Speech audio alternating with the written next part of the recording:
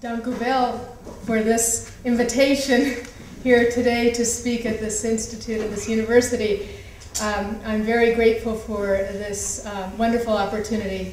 And I'm also honored uh, to be here to um, honored to be here with um, Professor Blommestijn, who has done so much to promote uh, Christian spirituality.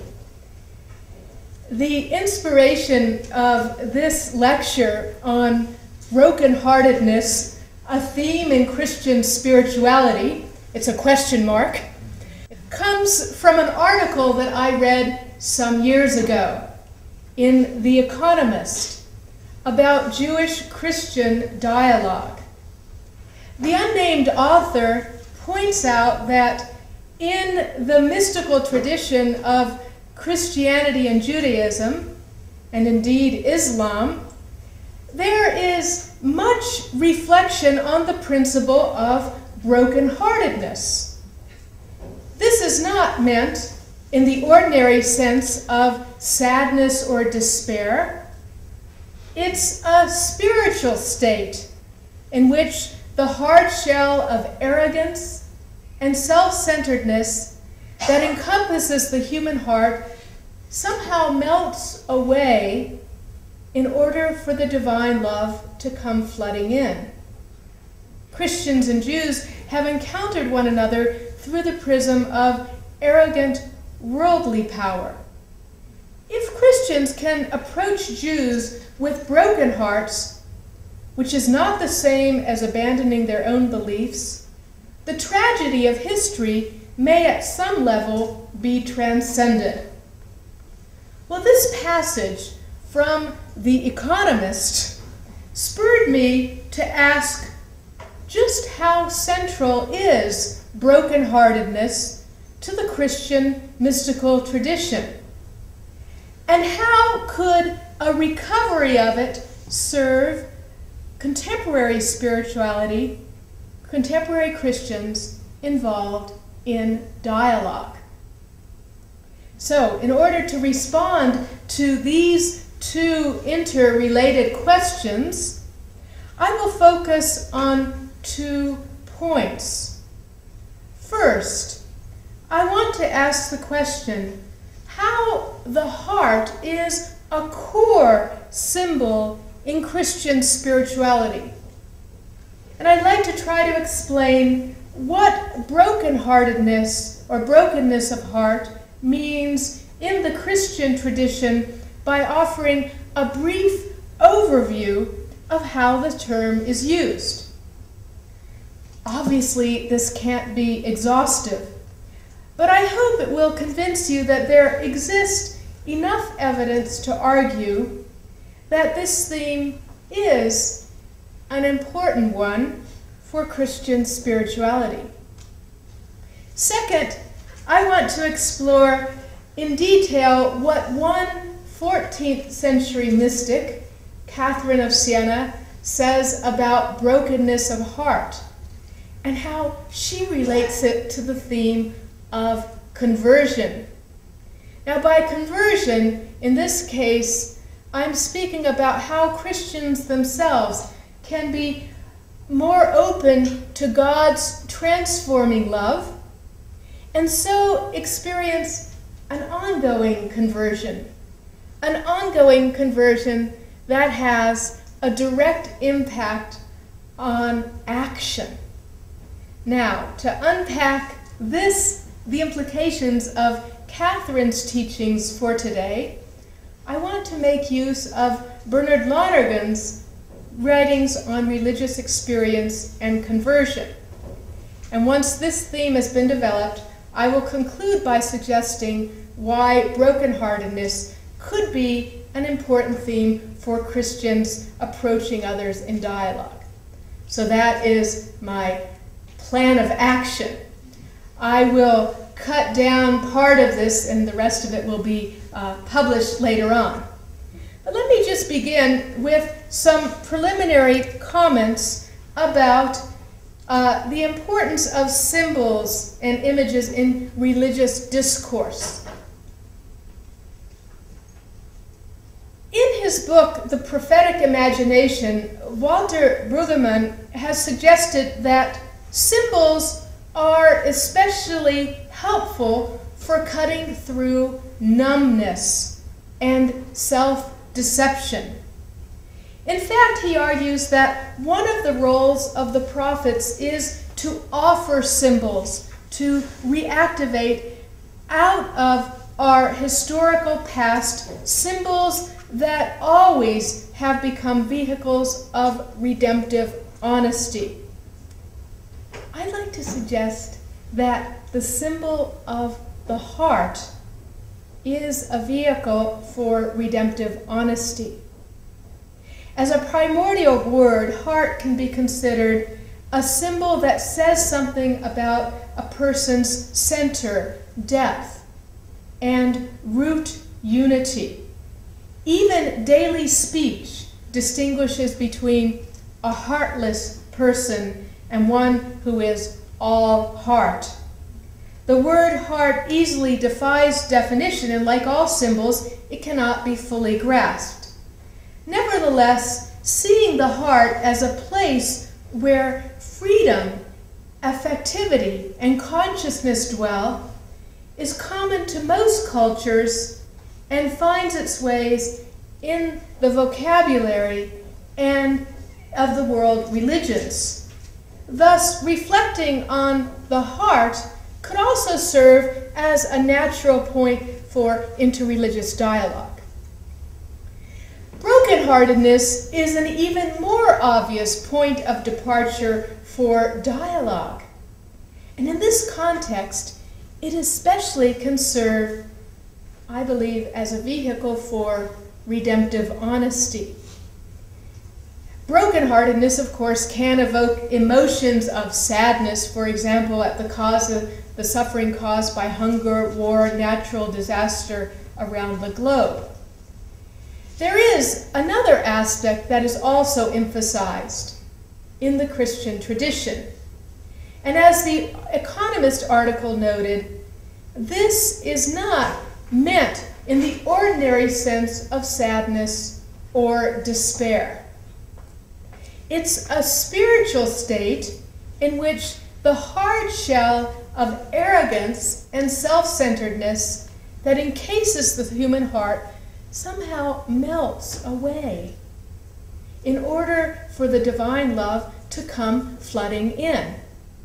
Now, this understanding of brokenheartedness is worth exploring because it shows how it can be a vehicle for entering into and being transformed by the mystery of God's redeeming love. Now, an obvious point of departure for developing this theme is, of course, sacred scripture.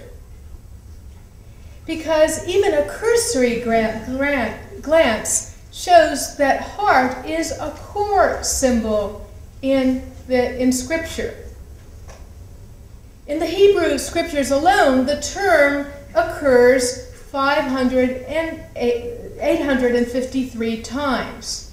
853 times. I won't look at all of those times right now. Mainly, though, in a figurative rather than a literal sense. To briefly summarize, the human heart is used basically in four different ways. First, as the source of rational functions. It's the place of thought and reason. And second, as the source of decision, purpose, and planning. And third, as the center of emotion, the place of courage, joy, sorrow, pride, or lust. And finally, as the place where religion and moral conduct is rooted. It's the place of fear of the Lord, trust in God, fidelity, purification, and conversion. Now, there are two passages in the Hebrew scriptures which can serve as an example of how the term is used. A broken and contrite heart is mentioned both in Psalm 51 and in Psalm 147. Psalm 51 finds its way not only into Jewish and Christian penitential liturgies, it's often part of the personal prayer of many. For example, the, the, the desert dweller Charles de Foucault called it the daily prayer of Christians. The pertinent passage that we're all familiar with are uh, for passages for our focus are verses 8 and verses 15 to 17, where the psalmist says, Pray, create in me a clean heart, O God, and put a new and steadfast spirit within me. And then the author goes on and says, For you are not pleased with sacrifice. The sacrifice acceptable to you is a broken spirit, a broken and contrite heart, O God, you will not despise. So the full impact of these startling statements becomes evident when one realizes that instead of offering God a burnt offering, the psalmist offers himself, his broken and contrite heart, as the victim of sacrifice. And the immediate context in this case is the confession of sin and an awareness of God's saving mercy and steadfast love. One of the important dimensions of this psalm is to recognize that only God can create a, a, new heart. In fact, in the Hebrew Bible, the verb to create is predicated only of God. No one else can accomplish this new creation. Granted, this requires a shattering of the old, but what is shattered is not lost. The old is in the new. And so the dismantled self, characterized by verse 17, requires a shattering of one's spirit, a brokenness of one's heart. True worship, as one author says, and new living require a yielding of self to begin again on God's terms. But the brokenness may not be a psychological dismantling. It may as well be an economic unburdening, a political risking, a stepping away from whatever form of power we've used by which to secure ourselves. Clearly, there are other times in the Hebrew scriptures where brokenness of heart is referred to, and the reasons can be varied suffering, persecution, and sorrow.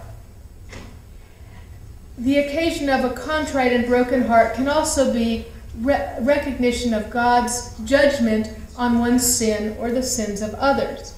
The other passage that I briefly want to mention is from Psalm 147, verses 2 and 3. And here the psalmist employs the language of healing the brokenness, healing the broken heart to celebrate God's saving action towards the post exilic community in their struggling against political oppression and economic uh, adversity, a theme that's very useful in these days. This rending or breaking makes a new life possible. It's the raw, terrible tearing that opens up healing and makes new. A broken-hearted person contrasts with a hard-hearted one. The key difference is when confronted with sin, the former repents. The brokenness of their natural confidence in life and self points to a condition of frightful anguish and despair vis a vis God. But such bottomless despair mysteriously conceals within itself the miracle of nearness to God. So, to summarize this, the broken-hearted person is pleased is pleasing to God not simply because he or she lacks arrogance and is humble, but above all because this experience leads one to trust no longer in one's own resources but in God's mercy and steadfast love. So, through a broken heart, God enters. From a broken heart, God's love flows out to others. And in the Christian tradition, Christ crucified, with the blood and water flowing from his pierced side, is the one who has embraced brokenness. And various expressions of Christian spirituality in both the patristic and the medieval period, with their symbolic interpretation of John 19:34, one of the soldiers pierced his side with the spear, and at once blood and water came out. This has provided Christians with an opportunity to contemplate Christ's heart a manifestation of his love, which is like a life giving fountain from which we receive his spirit, the sacraments, and the church. During Jesus' life, during his life, Jesus describes his own mission in terms of healing the brokenhearted. Both in life and death, he proclaims the compassion of God. And one of the one of the trans, one way of translating the Greek word for compassion is to say that it means to let one's innards embrace the feeling or situations of another. And some scholars would even describe Jesus' prophetic ministry in terms of the Beatitude Blessed are those who mourn, for they shall be comforted. Now, the scriptural theme of brokenheartedness is carried on in the Desert Fathers and in the early monastic period with the idea of penthos. And one could say that it developed as a microcosm of the macro issues alluded to in sacred scripture. And even a cursory glance at the monastic tradition shows that these are various expressions of brokenheartedness. And there is a lot that one could say about penthos and uh, brokenheartedness in the monastic tradition, but I'm going to uh, leave that. In the, the full text, I do say a word about Evagrius prayer and penthos, along with tears, mentioned in the East. And then I talk a bit about Gregory, Gregory the Great, the doctor of compunction in the West. But I'm going to leave that to leave enough time to speak about St. Catherine of Siena as a medieval case study about how brokenheartedness um, emerges in the tradition. In the medieval period, this theme emerges, emerges uh, in various uh, women mystics. Uh, one might mention briefly um, Hildegard of Bingen, Angela Foligno, and Julian of Norwich. The development revolves around not only the link between brokenheartedness, compunction, and tears, but also on the pierced heart of Christ as a locus for experiencing the transforming love of God. And so now I come to Catherine of Siena and her teaching on brokenheartedness and how it's related directly to the idea of continual conversion in her letters. So, as a way of entering into this, I want to explore her, first of all, um, her heart symbolism. And then from there, I'll move to the theme of brokenheartedness. Catherine's insights into brokenheartedness emerge not only out of her reflection on Christ crucified, on, on the love of Christ manifest through his pierced heart, but also from living in a society and in a church that was broken in many ways. The 14th century was an age of adversity and anxiety, where, for example, the plague ravaged most of Europe and sowed seeds of fear and isolation. The mortality rate was erratic, but the overall estimate is that a third of the people in Europe died. As one chronicler in Siena wrote, and no bells tolled, and nobody wept, no matter what the, his loss, because everyone expected death. And people said, and believed this is the end of the world. Recent studies emphasize that the plague is considered the second greatest catastrophe in human record, with only World War II producing more death, destruction, and emotional suffering. And the church, instead of being a beacon of hope, was itself in disarray from its political quarrels, the Avignon papacy, and the Great Western Schism.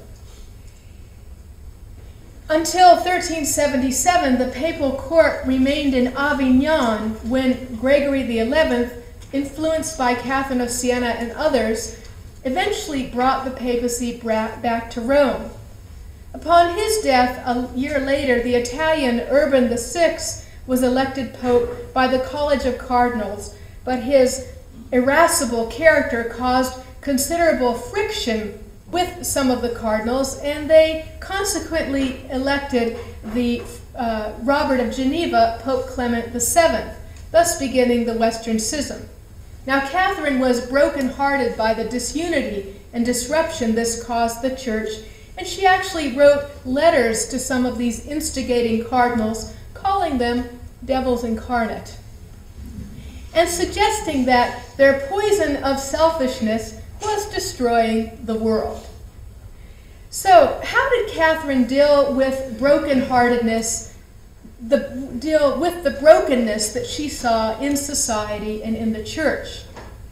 As a woman of God, she opened herself to God's fiery love that broke into her own heart.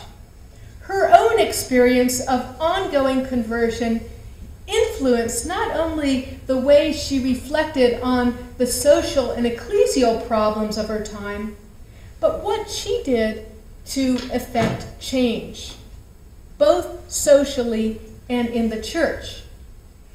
As a woman of the church, she loved the church, not with a blind love or rose colored glasses, but with a love clothed with truth she acknowledged that many in the church were leprous, these are her words, not mine, infected by greed, pride, arrogance, rebellion, and schism. These are just a few of the descriptive words that she used. And in light of these problems, she insisted on reform, but was convinced that reform must come from within and that in a certain sense, reform began with taking upon herself responsibility through continuous prayer, work, and sacrifice. Above all, Catherine was a woman of hope in an age of anxiety. She responded to these crises by trying to stimulate her contemporaries to overcome their anxiety, apathy, fear, and fatalism by doing something to affect change. So, it's in this context that we want to look at Catherine's writings on the heart. The word heart occurs 764 times in her writings. I won't review them all with you today. Without a doubt, it is a significant symbol for her. For Catherine, the heart emerges as the physical reality it is but more as the seat of all human and analogi analogically godly response. And so we find expressions such as heart and spirit, heart and affection, cold heart, hard heart, lift up your heart. It's in the heart that good and evil thoughts reside from the heart that good and evil designs um, come within the heart that God dwells. Now, how does her focus on the heart fit in with the theme, with this theme in her writings? Noting how tight-knit Catherine's writings are, Suzanne Noffke suggests that her images and symbols dance around one another so that it's sometimes difficult to extricate one symbol from another. Nevertheless, one can argue that for Catherine, in the words of Noffke, God is truth, love. Truth that is love, and love that is truth, revealed in Jesus Christ and discovered in knowledge of oneself and knowledge of God in oneself. And the reality that stands as symbol at the heart of this dynamism is the heart. The heart of Jesus as revelation of the heart of God and the human heart as drawn to respond to the heart of divinity engrafted into humanity. For Catherine, the transformation of the human heart is intricately intertwined with coming to know the truth revealed in the heart of Christ, namely that God is madly in love. Pazzo d'amore. This is the word that she uses. Pazzo d'amore for us. Pazzo d'amore. God is madly in love with humanity. And this love is most poignantly manifest in Christ crucified. Specifically, the secret of the heart, il segreto del cuore, is revealed in the pierced heart of Christ. When Catherine questions why Christ's heart was pierced after his death, the response is there were many reasons, but I shall tell you the chief one. My longing for humankind was infinite but the actual deed of bearing pain and torment was finite and could never show all the love I had. This is Christ, God speaking to Catherine. This was why I wanted you to see the secret of my heart, wanting to show it to you, open up so that you would see that I love you more than finite suffering can show. So, because the human heart is always drawn by love, this revelation is also an invitation to enter into the love through contemplation. Catherine uses very earthy images that may seem very strange to us today. And yet, if we let her speak to us, she says something important about brokenheartedness. Christian conversion and its impact on our relationship with other people. Now, if you read through the biography of Catherine by Raimondo, Raimondo da Capua, her spiritual director and one of her key admirers, you will find all sorts of stories typical of the genre of a saint's biography of her time. But if you kind of put aside the flowery language and the sentimental language and dig deep, you discover that the symbol of the heart is a vehicle for talking about different levels of ongoing conversion in Catherine's life. And one of those scenes is the exchange of hearts, which is an important theme in, in the medieval period. There's actually a sculpture in Rome, a little sculpture in the church of the in the Basilica of Santa Maria sopra Minerva, where you see um, a picture and a sculpture of Christ who seems to be removing Catherine's heart, at, while at the same time checking her pulse. I like that so much. Um, anyway, the point of all this is that the deep, deeply symbolic significance is that she was wounded by God's love. She was transformed by God's love revealed in Christ. And in the symbol of the heart, being being in love with God and doing doing God's will intersect. So this convergence convergence of being and doing is fundamental to Catherine's heart symbolism, and that is what I want to explore briefly right now in some of her letters. Now, Catherine's letters have rightly been considered the practical dimension of her theology. Of the more than 380 letters written to all sorts of people, including popes and prisoners, queens and prostitutes, to intimate friends and relatives, to persons Catherine never met, there were probably some people who would have been just as happy not to get a letter from Catherine of Siena. These letters are replete with references to heart problems, though they are not the ones that we usually talk about today. Catherine was well aware, though, that we that they are not. So Catherine was well aware of the foibles of the human heart. She recognized that one could genuinely block God's grace because of hardness of heart, durezza di cuore, or because of stubbornness of heart, un cuore ostinato, a cold or chilled heart, freddezza di cuore, falsity of heart, un cuore fitto, or a deceptive or double heart, un cuore doppio. For Catherine, these heart problems are signs of the need for conversion. Just to give you one example, Catherine touches on the theme of hardness of heart more than 40 times in her writings. And typical of her use of the term is her comment to Bernardo, Bernardo's, Bernardo Visconti, one of Milan's most notorious tyrants, who influenced politics on the Ita Italian peninsula for 30 years.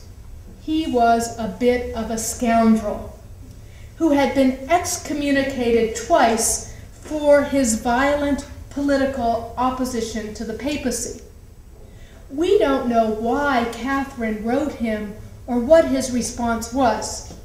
But it's quite interesting that Catherine took time to write not only to this hard hearted man, but also to his wife, Regina della Scala, who has been described by Suzanne Noffke as an imperious, avaricious, ambitious, and treacherous woman.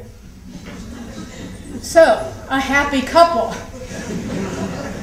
What we see in letter 28 to this tyrant Visconti is not only a summary of Catherine's whole theology of creation and redemption, but also her conviction that the power of God's love can bring about a change of heart. She writes, What heart is so hard and stubborn that it would not melt contemplating the effective love, divine goodness bears it? Love, then love. Ponder the fact that you were loved even before you loved. And then she goes on with a very long passage about this love revealed in creation and redemption. Now, here, what Catherine is doing is she's showing how Christ takes upon himself the brokenness of humanity through his incarnation. And later in the letter, she reflects on the impact of the crucifixion on humanity. Let me quote a short passage. What indescribable love! By his death, he has given us life. By enduring insult and abuse, he has restored our dignity. With his hands nailed fast to the cross, he has freed us from the shackles of sin. With his pierced heart, he has done away with our hard heartedness. In being stripped, he has clothed us. Specifically, Catherine was convinced that if this pierced love pierced Visconti's heart, it would have an effect on his behavior in a concrete way. For example, she suggests instead of being a gangrenous member of the church, he would become a faithful son. He would be set free from sin and given freedom to do God's will. We don't know how he responded to her advice. But it's interesting that this 28 year old woman had the courage to write this notorious scoundrel, this notorious tyrant, with this call to conversion. Fire is another symbol that Catherine uses to describe how to overcome hard heartedness. Fire breaks up, purifies, and destroys, but out of it, new life can emerge. For example, in a letter to the Archbishop of Pisa, suggesting that an experience of God's fiery love would bring about a change of heart in him, she concludes by saying, Bathe yourself in the blood of Christ crucified, where you will find the fire of love. It will consume every chill and dissolve any hardness of your heart or your soul. Thus, the hard heart, the cold heart, becomes warm and pliable because of the fire of divine love. So, friends, these are a few of the heart problems mentioned by Catherine, along with a hint at how she proposes to solve the heart problems. Her language is quite strong. And I'd like to conclude this section with a poignant passage from the dialogue, where she recognize, recognizes that some people have, with the hand of free choice, encrusted their heart in a diamond rock. A diamond rock. She says that this hardness can never be shattered except by blood. And paradoxically, this is both gift and responsibility. It's gift because of the gratuitous love of God manifest in Christ crucified and the shedding of his blood. It's responsibility because only through free will can they be can can it be poured can they pour the blood of Christ over the hardness of hearts. The image of the heart as hard as diamonds occurs various times in her writings. And it's helpful to know that there was an old medieval legend that argued that the only way to break up a diamond was to pour blood on it. Catherine utilizes this legend and argues that the only way to break up a hard heart is through being flooded by the blood of Christ. For her, blood is a symbol of the fiery love of God that literally breaks up a hard heart. So, so far, all of these various images converge into one fundamental concept. A healthy heart is a broken heart. In Catherine's heart, uh, thought, a healthy heart is one that is free libero, and simple, schietto. It's in short a heart that has been stripped of all that blocks one from reaching out to God and to others in love. The healthy heart has been broken, spezzato, through an experience of God's love manifest in Christ. And this love causes it to burst she talks about scoppia il cuore with love. One example of how this latter image of the heart bursting uh, emerges in one of Catherine's 11 letters to her good friend and disciple, Neri di Landoccio Pagliaresi, written probably sometime in 1376. Now, to this Sienese nobleman, politician and poet Catherine writes I, Catherine, servant and slave of the servants of Jesus Christ, am writing to you in his precious blood. We don't normally begin our emails that way. but Catherine began almost all of her letters in this way. She says, I long to see you united with and transformed in the fire of blazing charity so that you may be a vessel of love to carry the name of God's word and his great mysteries before our dear Christ on earth and to be effective in igniting his desire. So, the context of the letter is that Neri is on the way to Avignon to join Raymond of Capua in trying to encourage Gregory XI to return to Rome. And so she's convinced that this nobleman is an important instrument for the reform of the church. But she recognizes that this, recognizes that this will only happen if he contemplates Christ's pierced heart and receives from Christ a desire and a strength to do God's will. And then she assures him that if you do this, your words and actions will become like an arrow drawn, listen to this language, an arrow drawn red hot out of the fire. That wherever it is shot, sends on fire everything it strikes, since it cannot help sharing what it has. So think of your soul as entering the fiery furnace of divine charity, and love's power will make you shoot out and share what you have drawn from the fire.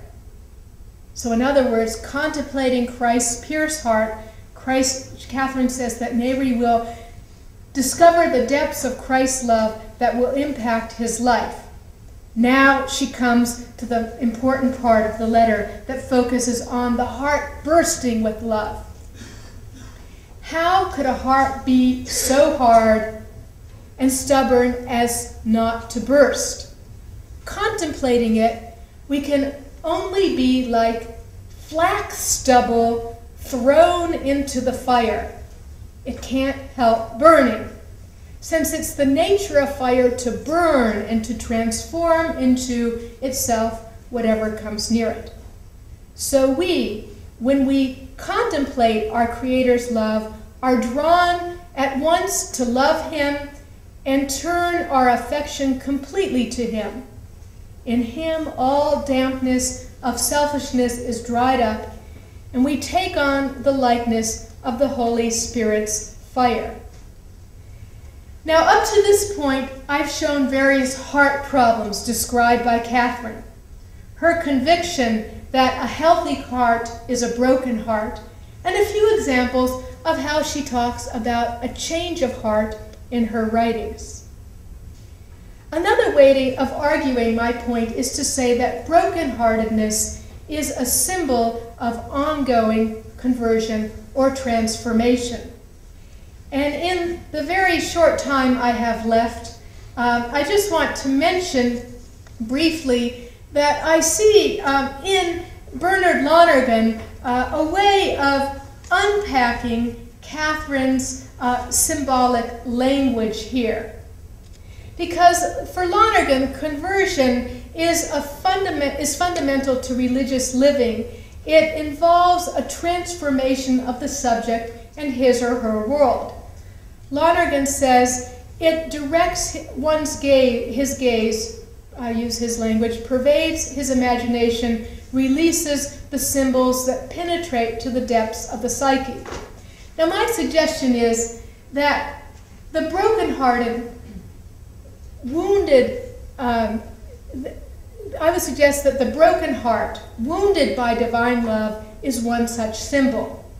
Consistently in Catherine's writings, there's only one solution for the heart problems that I mentioned earlier. It's an experience of God's love. For her, this love is most poignantly manifest in Christ crucified, whose heart was open for love of humanity. And in a way, in all three letters we've looked at, to, Rome, to Milan's most notorious scoundrel, to the Archbishop of Pisa, and to the gentle gentleman, the noble politician of Siena, her suggestion is that they fall in love with God. And this, as you may know from Lonergan, is a key theme in his um, writings. So, just to conclude, let me say, um, just talk about briefly the, the, the dynamism that I see at work. What's happening here? An, an experience of God, God's love overflows or floods a person. And this is why self knowledge and knowledge of God is so crucial for Catherine's spirituality. Though this is a pure gift, Catherine is convinced that there are certain things that we can do to open ourselves up to this gift. As one becomes open to this gift, the hard heart, the cold heart, becomes warm and pliable because of the divine love. And this was illustrated in her image of the heart as hard as diamonds being broken up by the blood of Christ. For Catherine, blood is a symbol of the fiery love of God. I found a beautiful passage by uh, Professor Hein, hein Blommestijn, um, whom we're honoring today, where he, in a different context, he states something very similar, and I quote him Once we start loving and surrendering ourselves to that overpowering, overwhelming power of God's unconditional love, it seems that we are dragged along in, in a bottomless whirlpool. The contemplation of God's incompre incomprehensible, tender love sets free in us the desire to love more and more. We hear the passionate invitation, love the love. Catherine would be very happy with that. the second point, the love affects in the person both an intellectual and a moral transformation. Insofar as a person cooperates, he or she gradually moves from an egoistical, self centered life to a God centered life. And this experience of God's love has an impact on the way that Catherine thought about the reform of the church and the big political problems of her time. If you think we have big problems, go back to the 14th century. the third point is this the heart becomes simple, not two faced, big, not stingy. It has room for others.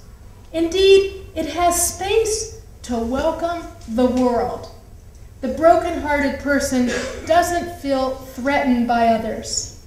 In one of her favorite prayers, prayed towards the end of her life, Catherine says to God, You, light, make the heart simple.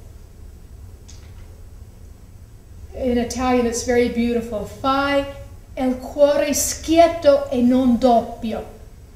Not two-faced you make it big, not stingy. So big that it has room in its loving charity for everyone. This change of heart is manifest not only in words, but in deeds. And basically, she's saying that as Christians open themselves again and again to divine love, it will lead them from an egocentric life to a life of service. If I may conclude very briefly with a word about dialogue. Why would this theme be important for dialogue? Can the theme of brokenheartedness be useful for dialogue today? I would say yes. Because the Christian who is involved in dialogue needs to let go of hardness of heart, arrogance, and self centeredness. An experience of God's love purifies one's relations with others in dialogue and could lead one to let go of anything that approaches an attitude of condensation, con condescension to the other's religion. Accepting the full implication of brokenheartedness can purify us so that we approach others freely, simply, with a heart on fire with God's love. Above all, I think a broken heart helps us to maintain a proper balance between confidence in our Christian vocation and humility before the wonders of God manifest in so many ways. What I hope to have shown today, especially in the writings of Catherine, is, in the words of The Economist, the brokenheartedness is a spiritual state in which the hard shell of arrogance and self centeredness that encases the human heart somehow melts away in order for the divine love to come flooding in. I conclude by asking is this not the best preparation for dialogue with others?